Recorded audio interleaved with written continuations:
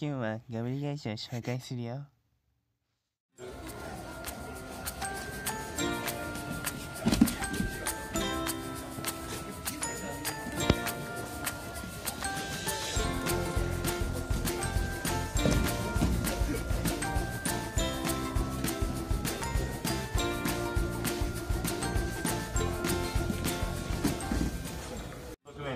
相手の脇をしっかり押さえて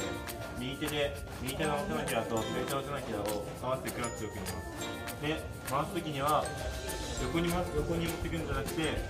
そうすると自分の方向斜め後ろの方向にえー相手を巻き込みながら頭を入れてゆっくりと回っていきますそれではスローで確認しよう。